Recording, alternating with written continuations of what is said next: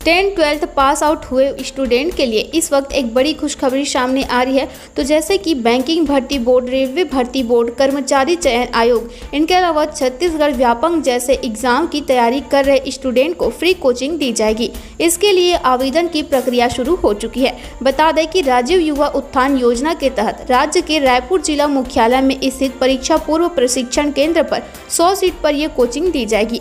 और ये कोचिंग राज्य के अनुसूचित जाति अनुसूचित जनजाति तथा अन्य पिछड़ा वर्ग के विद्यार्थियों के लिए होगी। आदिवासी विकास विभाग की ओर से बताया गया कि नए सत्र के विद्यार्थियों के प्रशिक्षण हेतु 100 सीट निर्धारित किए गए हैं जिसमें सभी विद्यार्थियों को एक हज़ार रूपए प्रति माह स्कॉलरशिप भी मिलेगी। और कोचिंग की सुविधा निःशुल्क है। कुल स्वीकृत सीट 100 में से अनुसूचित जाति के लिए 30, अनुसूचित जनजाति के लिए 50 एवं अन्य पिछड़ा वर्ग के लिए 20 सीट आरक्षित है तथा वर्गवार तैतीस प्रतिशत सीट महिलाओं के लिए सुरक्षित रहती है। तो इसके लिए क्या क्या क्वालिफिकेशन है और डॉक्यूमेंट्स है, वो भी हम आपको इस वीडियो में पूरे डिटेल में बताने वाले हैं।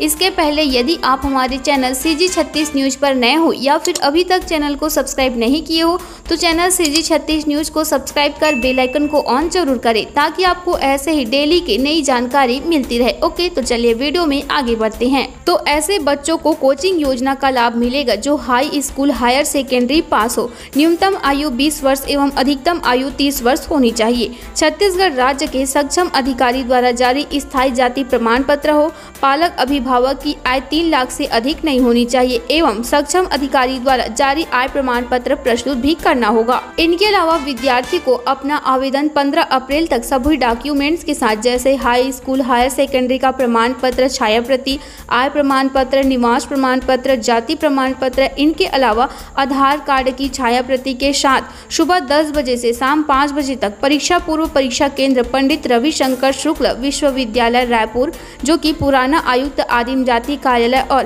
कार्यालय सहायक आयुक्त आदिवासी विकास रायपुर कलेक्टर परिश्रम क्रमांक नंबर 40 में आवेदन जमा कर सकते हैं। फ़िलहाल इस वीडियो में इतना ही तो अगर आपको वीडियो अच्छी लगी हो इन्फॉर्मेटिव लगी हो तो वीडियो को लाइक करें। साथ ही अगर आपको इससे जुड़ी कोई भी डाउट हो तो आप हमें कमेंट बॉक्स में ज़रूर पूछेगा ओके मिलते हैं और अपडेट के साथ नेक्स्ट वीडियो में।